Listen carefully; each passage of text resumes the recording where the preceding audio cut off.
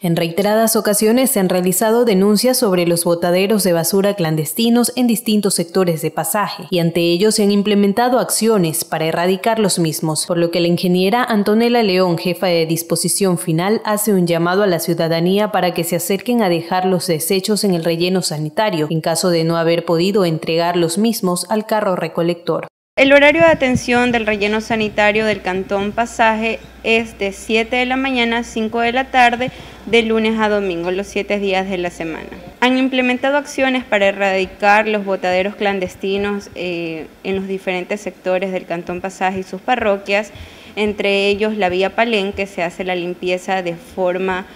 eh, periódica, pasando una o dos semanas se solicita a la ciudadanía tomar conciencia de este tipo de acciones y proceder a acercarse al relleno sanitario en caso de que no hayan podido entregar sus desechos sólidos no peligrosos al carro recolector. La recepción de los desechos en el relleno sanitario es totalmente gratuita, tienen que acercarse en, las instalaciones,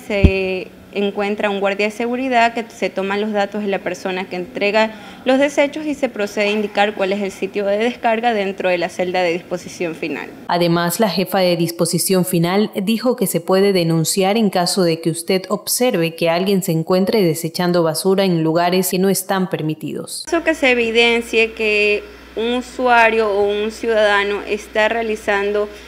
acciones como botar sus desechos en botaderos clandestinos o generar la creación de botaderos clandestinos, se puede realizar la denuncia mediante las redes eh, sociales oficiales de la empresa Aguapaz.